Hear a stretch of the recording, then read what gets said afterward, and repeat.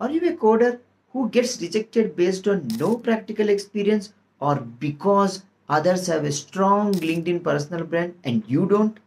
Your coaching institute will hate me for doing this, but I welcome you to Code2Career 30 Days Challenge where I have chosen these five total strangers out of my LinkedIn contacts and have taken up the challenge to help them go from jobless or underpaid to well paid job that too without additional degrees and certifications in the next 30 days.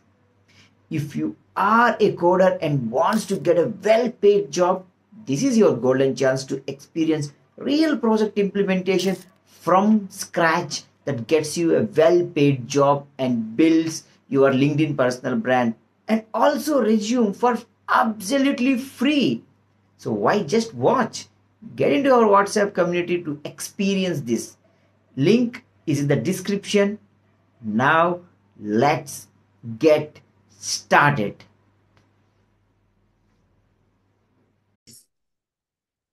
I'll start with any questions that you have, then I will uh, top it up with any gaps that I see with respect to your understanding. So anybody has any questions, then it would be good. So Aj Ajay, Anirudh, Ananda, if we can be on camera, it would be great. So any study that you have done, you understood something, but still you feel there is a gap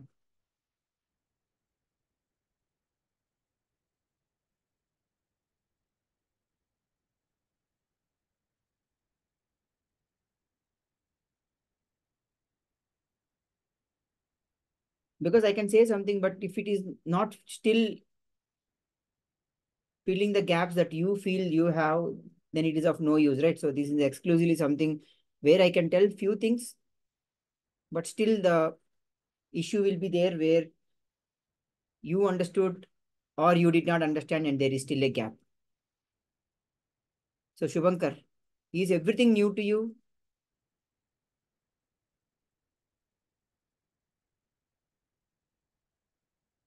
Yes, sir. Any issue with your camera or something? Can, can you be on camera if possible? Chaitanya.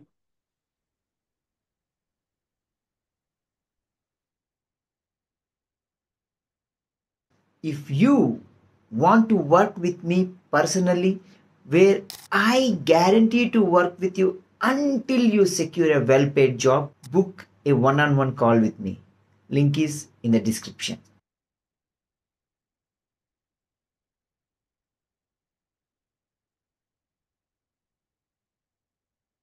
Yeah, Shubhankar.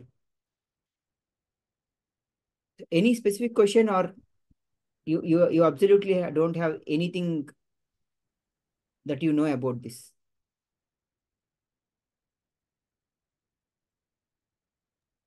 I don't have much idea regarding this, sir. Okay, fine. Ajay? I have like uh, how the packet um, goes and the request comes back. Like uh, overall idea I have, in depth uh, I didn't get. Uh, Okay, Ananda. Yeah, please, please speak up. Like, what's your understanding? So that Yeah, um, same thing. So if we uh, started to send a uh, uh, some commands like set temperatures and all, it should be go propagate through the different functions and, uh, and give the acknowledgement, right? So what are all the APIs it should uh, manipulate? Those kind of questions I have in that file. So, but but file file folder folder structure, uh, it got somehow I got in some basic ideas since uh, we worked on some of the TCP sockets. So it is somehow similar to that. But uh, the a- as I told the APIs, what are the APIs I should have to use? So those kind of still I have the doubt.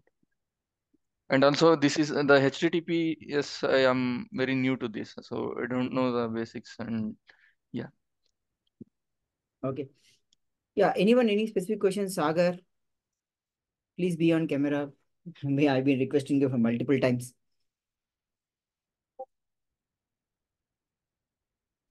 Yes. Reason Uh, why you hide just- behind cameras.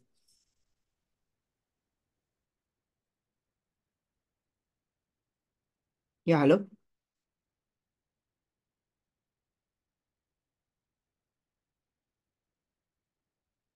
Guys, then are you also in meetings that you are always silent and you don't speak up?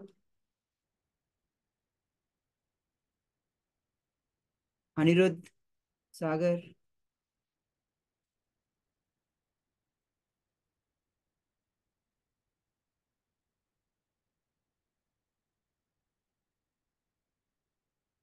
Okay, Aditya is traveling, so he cannot join. I know, yeah, Aditya, I know, Anirudh. Okay, fine. So let us start with the basic terminology called server. We'll go with the pure noun form. Something which serves. The very rudimentary or very basic example of a hotel server. The example is very, very bad, but it's like a hotel server that you request something, the server gets to you. So that's the simplest thing that a server can have. This kind of hardware with an intelligence provided by the software so that when somebody requests a kind of service, the server can provide. Typically in our case, let us assume for a moment and let us also think that the roles of server and client can change for easy understanding so that you you look at something if you want to work with me personally where i guarantee to work with you until you secure a well paid job book a one-on-one call with me. Link is in the description. Like a thermostat at the end and also the phone or something your user whichever is the interaction also working as a server and client. I will i can provide something but i need something simple simple uh, analogy. Which action will I take under what context entirely defines which functionality I will invoke. If somebody is asking something and if I have that information, I become a server. If I have to ask something, then I become a client. Is, is this framework clear to everyone? I have something I can give. I need something I will ask. That time I am a client. When I am giving, I am a server. Now, what happened, like you need to go and look back few, few years, almost 20, 30 years back, when people had this idea of distributed system and the, and the thing of distributed system has come. Otherwise, what, what was happening? Let us say if there is one module, like you have this uh, JSON module and you have a HTTP code. Both are in the same code piece. When I create a final binary, the functionality which is there for JSON, processing of the JSON data, and the functionality so-called HTTP is part of the same binary. That time, I can have a very direct call. Code within a system can have a direct call. But of late, what people understood is once this kernel user space and kernel thing has happened, people devise something called as process. You call it process, thread, task, doesn't matter. The interaction between these two processes started happening, which gave rise to something called as inter-process communication. One of the simplest inter-process communication is called pipe. How many of you know pipe? Unix pipes.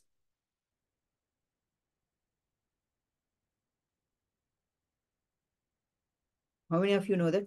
Type me in the chat box. Okay, Chaitanya knows. So it's, it's one of the very, very primitive thing saying that I have two file descriptors, read and write. I will write to the right file descriptor and the other entity or the other process will read from the read file descriptor. That is why if you see a shell programming, I will say ls slash and cat something or whatever. Both are two different processes from the kernel perspective. Everything within a same system doing all these things, life was very happy until the advent of internet. Internet has broken every other thought process that people had with respect to communication between processes. Now, what has happened? The processes now got geographically distributed. Is this making clear? Earlier, the processes were in the same computer. Yes. Even before that, it was the same binary. And if you take operating system, the early, early operating system like DOS, when something happens in the kernel, the whole system crashes because there was nothing like user space, kernel space demarcation. There is nothing like process where it has its own operational memory. When a process dies, it's only that the kernel knows that something, some execution entity has gone out of scope. These kind of things were not there. The early days. What, what has happened the moment user space kernel space has come, process have come, people were happy, they were communicating between each other, there were IPCs like shared memory, pipes, fuse, all those things.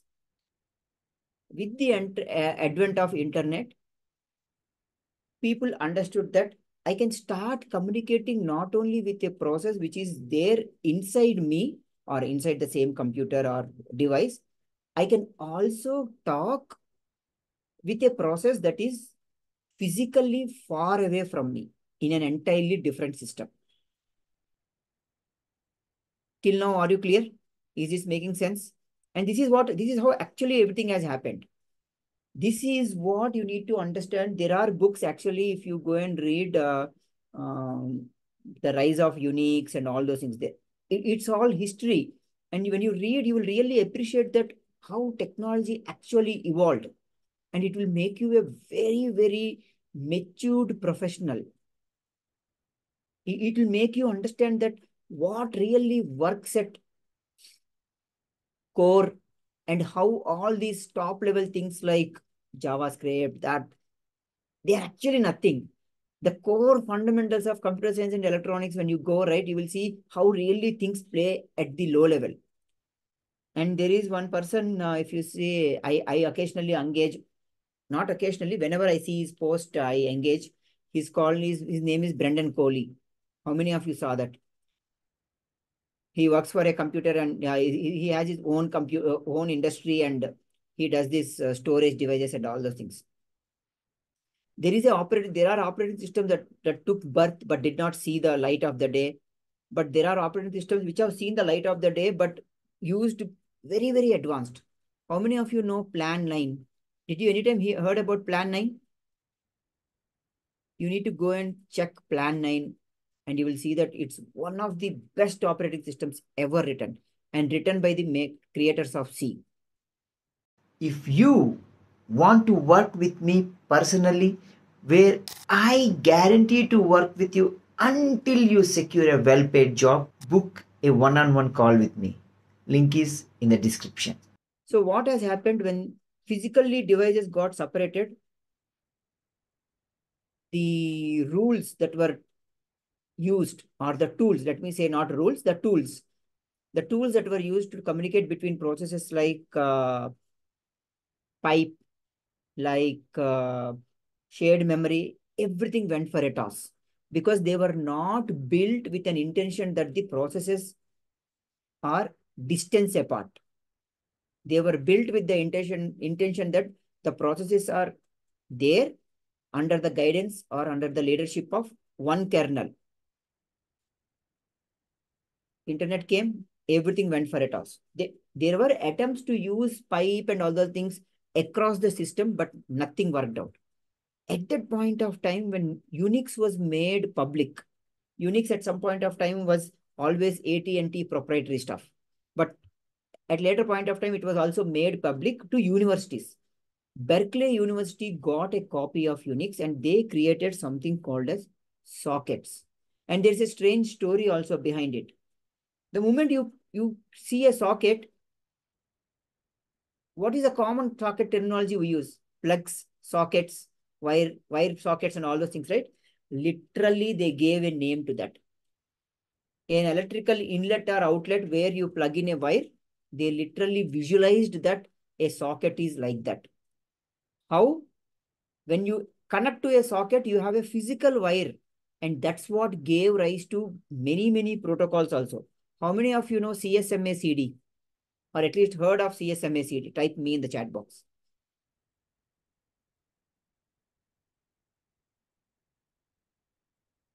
Okay, what does it mean? CSMA CD.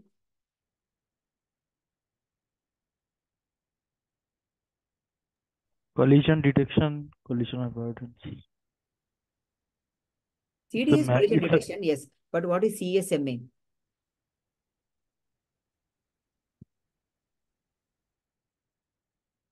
So carrier sense multiple Maximum. slash collision avoidance. So once processes got separated, it gave rise to so many standards, so many protocols because computers have to be interconnected, geographically distances are made. Electric, if you see, because of this kind of things, do not do not have a microscopic view of these things and say that, oh, I know this, I know this, this is what is. No.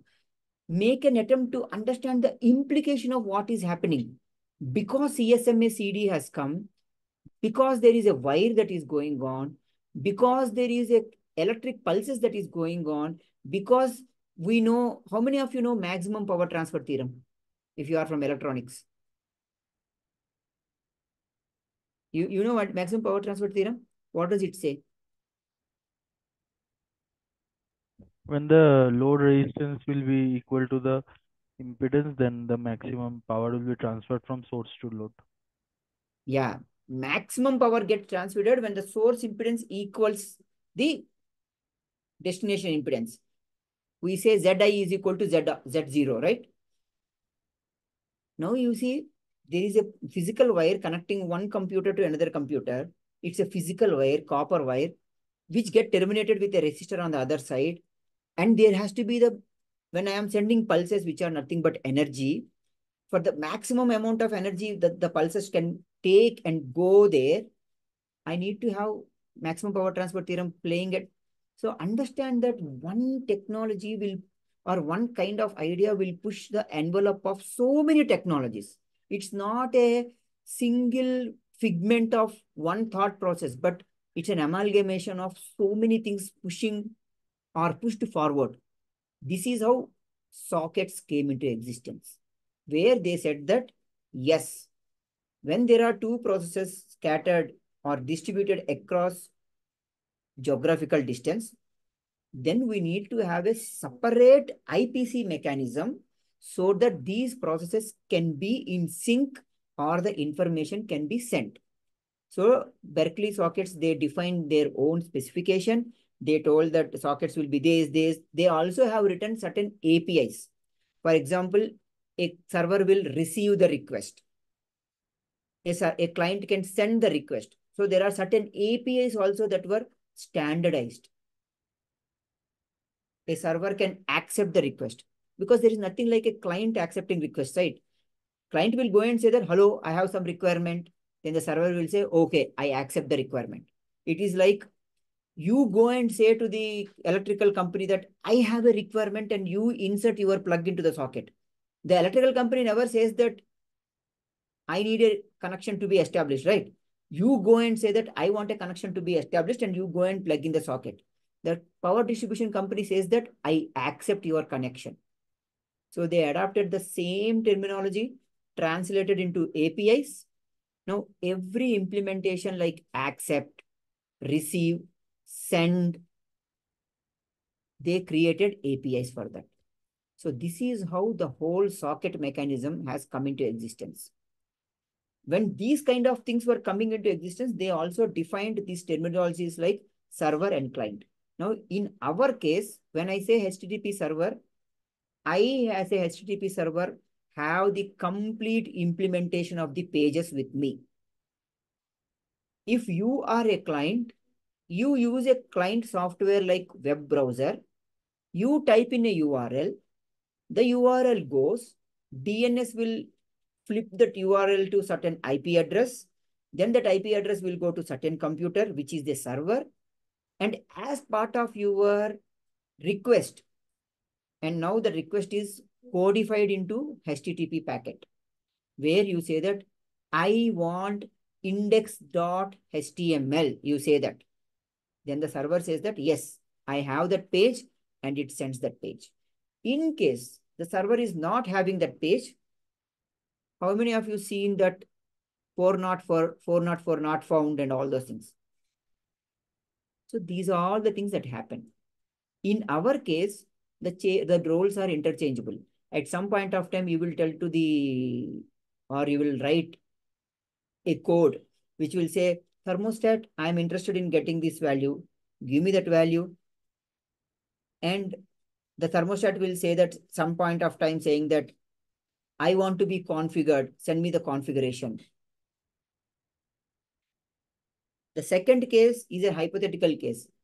But the point I'm trying to say is I am trying to fabricate certain context under which some can be or one entity can be a server or a client and the second entity can be a server or a client. So far clear? This is whole, this is the whole funda. Now the biggest problem everyone faces. Vamsi, it's okay, boss. You have given so much theory. But you know, the problem comes and stops at the code. It's always with the code. Because that is where these abstract ideas get codified. And they code they gets codified in a language which are not very evident and not easy for us to understand. So for that, what you need to do is when you look at a code, at least in the in the software that I have given HTTP server, the names are properly written. The function names are properly written as to whether it is accepting connection or closing connection or opening connection. Wherever you see the socket interplay is coming, you need to physically or you need to mentally understand that it has to be a UART call. So the first attack that you go and look at when you look at the code is remove all the utility functions. Imagine if you are a server, what will you first do? You accept a connection. Now, in our case, there is nothing like accepting connection because there is nobody sending to us. Rather, we say that if at all thermostat sends me something, I want to read it.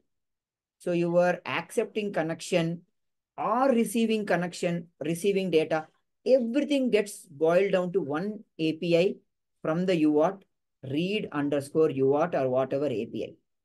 And whichever is the communication that you are doing, send to so-and-so client and all those things is UART underscore send. The first cut would be do not think about any error situation. Do not think about any corner cases. Assume that everything sunshine and rainbows everywhere. Start sending data and start receiving data. If at all that happens, what are those two APIs that I need to plug in? The only or the other issue that may come is the enormity of the code. How many of you felt that the moment you saw the code, the sheer size of the code itself made you to take a back step? Type me in the chat box. Because it's quite a good, huge amount of code. I agree to that. Because for the first time when I, I was Googling and I was, I had to incorporate this web server into our device, I told, man, what is this code? So many files. Which file is for what? How many of you felt that the enormity of the code itself made you feel that how, how should I do it? Type me in the chat box. Initially, I felt, okay, Sagar felt yes. So the simple thing is reject everything which are like utility functions.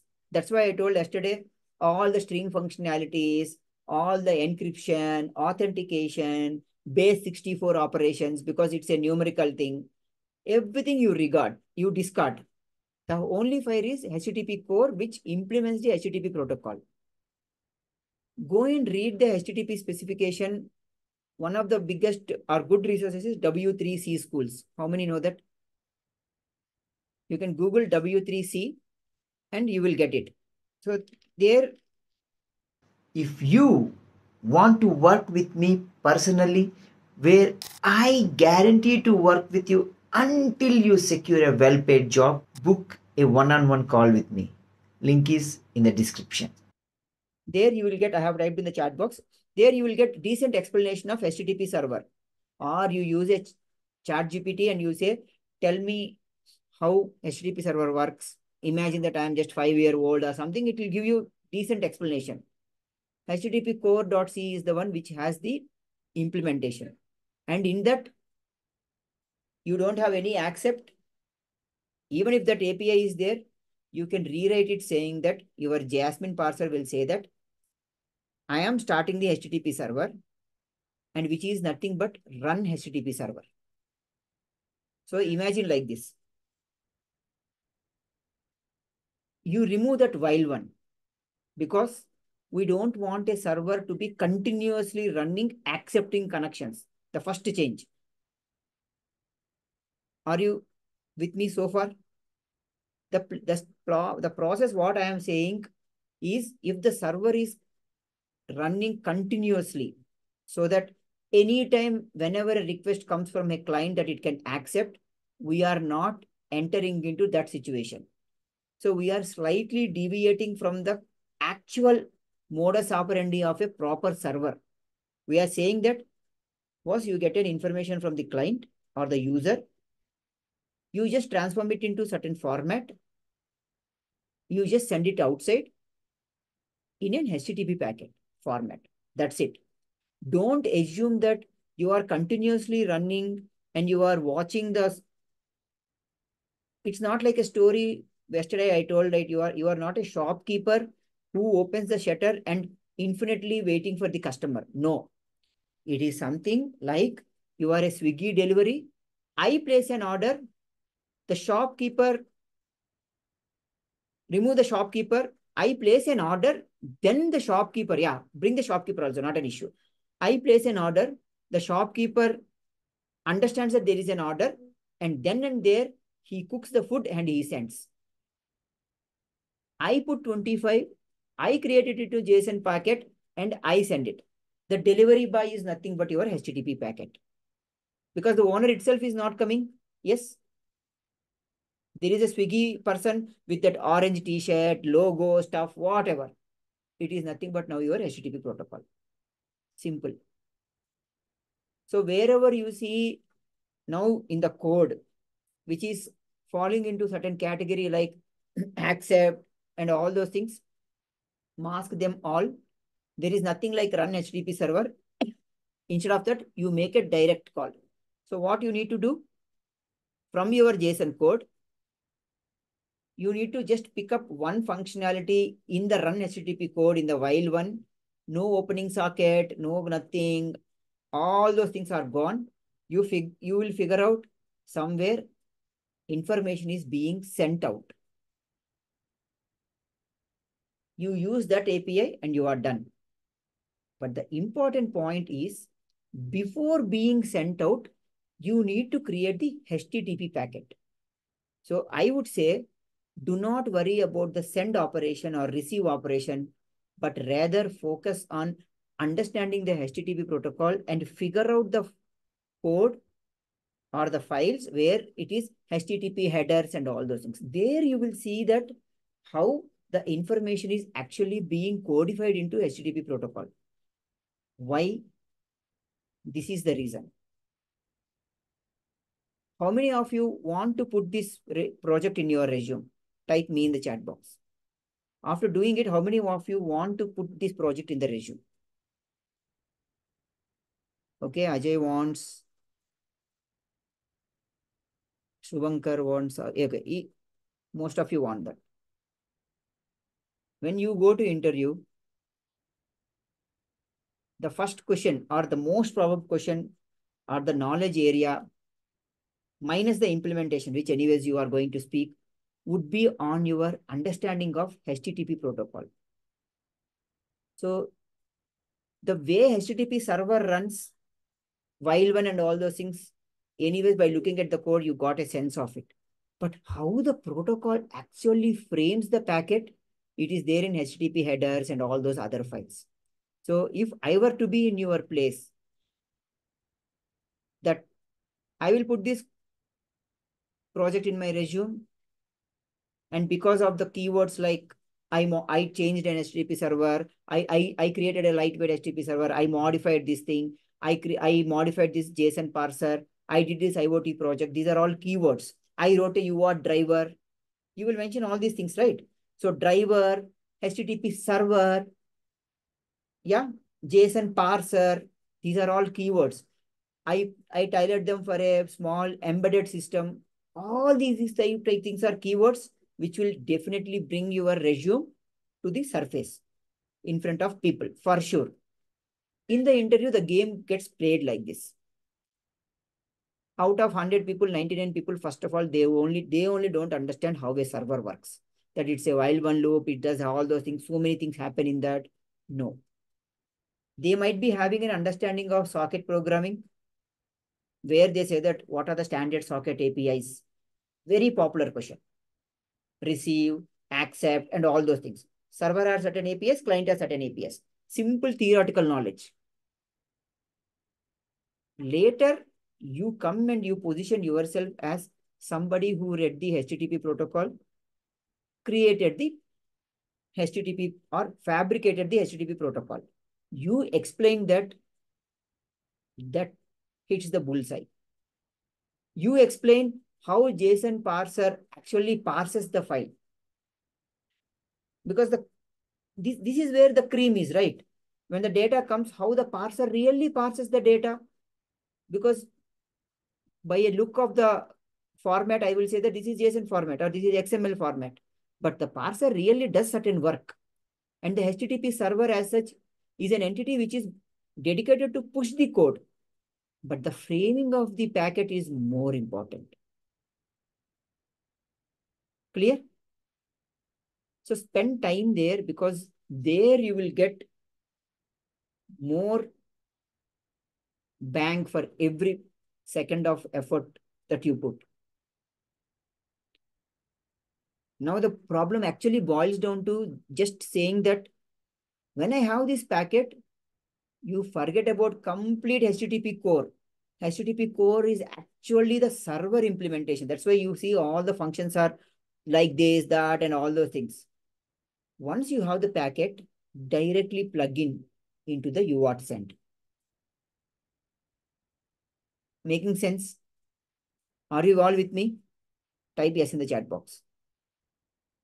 Your problem rather should not be the server code, but it should be converting the data into HTTP packet. That's it. And here is the gain for you when you look at the HTTP headers code and all those things. It's all very, very beautifully written string operations. That's it. So what you are essentially doing is the string operation. And the authentication stuff, the encryption stuff, and everything are also split conveniently and they, they are relegated to the WebSockets. So if you are not using WebSockets, do not worry about authentication. Do not worry about encryption. Only understand, I got this 25, how to, or I got this JSON data. If you want to work with me personally, where I guarantee to work with you until you secure a well paid job, book a one on one call with me. Link is in the description. How to put it into HTTP header. That's it.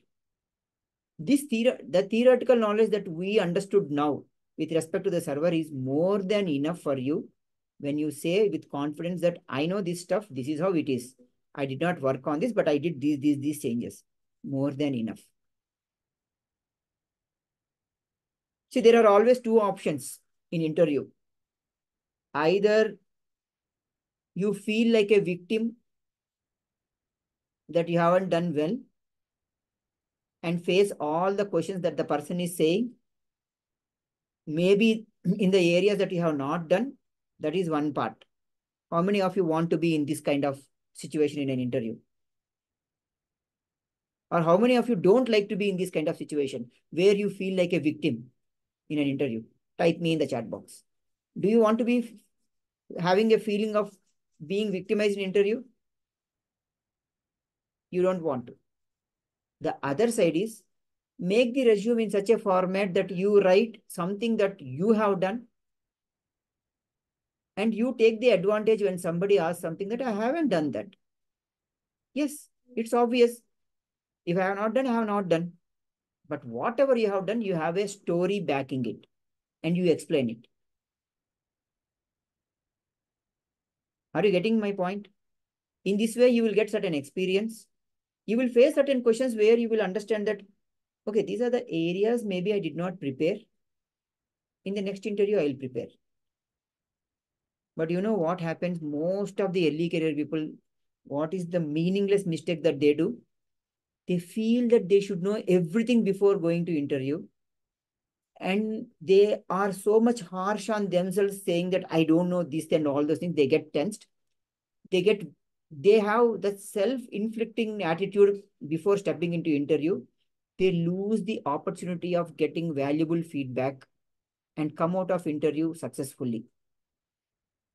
Successfully doesn't mean always getting a job, but understanding that there is a gap. And the other way they, they harm themselves is they will put so much in the resume thinking that putting more will get interview call. And I have seen one person, he himself told, and he and I am I am telling you, this person actually, after uh, three to four months, yeah, he lost the job also. I'm I'm not able to recollect uh, whether he, that person is from uh, LinkedIn or my my friend's cousin or somebody. He added so many skills. He went to the interview. The interviewer told, "Was I thought you are so much experienced and you know so many things, but in the first question only, I came to understood. I I understood that you are just an empty vessel." But that interviewer was kind enough and he told that no, no, you don't do like this. Put only what what is that you know and all the things. So don't fall into the pitfalls and all those things. Write what you understood. And what I told you is enough. If you know how to packetize, how to put it into JSON format, it is more than enough. Those functions are all string manipulation functions, which needs, which needs no big explanation. You go and do it, it's all array manipulations you will simply understand, oh, this function, this is doing this, this is doing this, this is doing this. Just that the process will be, the algorithm that they have done is key value pairs and one carriage return. Key value pair, carriage return. Key value pair, carriage return. And they keep on populating the header as many keys as they have. And all these keys are already part of a structure. So in a structure, there are certain number of keys. I have a for loop and I less than maximum number of keys or something. I go one by one, populating, next line, populating, next line, populating, done. So your whole string manipulation is going around this one. If you want to work with me personally, where I guarantee to work with you until you secure a well paid job, book a one on one call with me. Link is in the description. One for loop, that's it. So what your program at the end will be, one code which is understanding a number or something and put it into a string because JSON format is a string. This string coming into another format where there are multiple strings and this string becoming a data. This complete collection of string being given to UART. That's it. Your project is nothing less than or nothing more than string manipulation. But this is a glorified string manipulation. This is Bahubali string manipulation, okay? On a very big canvas with lot of rules and regulations associated with it. That's it. Now I leave rest all to you because it now entirely depends on how much you dedicate and you care for your career and understand that if I know a code more better, I have better chances of faring well in interview, period. How many of you agree to this? If you know code well, you can play the interview very well. Rest all things does not matter. Because you are not applying for a leadership position. Yes. You are not applying for something where there is a lot of stakes what you are applying is for a role where something is given to you and you are expected to do is do that. How many of you agree? Type yes in the chat box.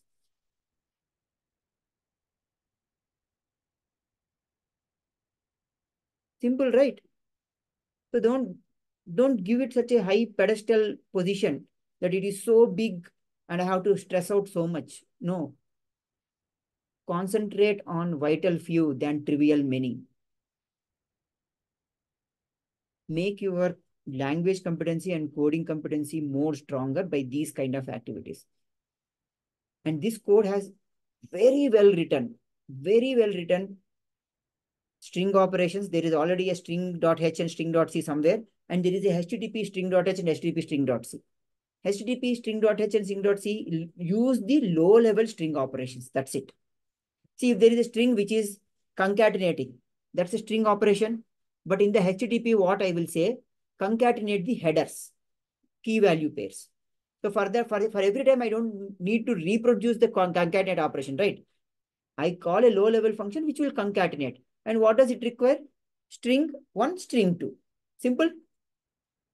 But HTTP string knows what to concatenate. It knows what it knows what the key, it knows what the value. That's it.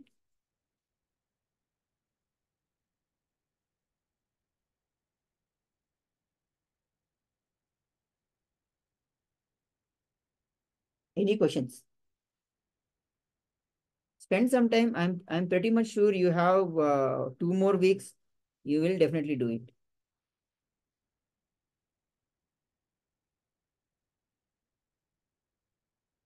Any questions?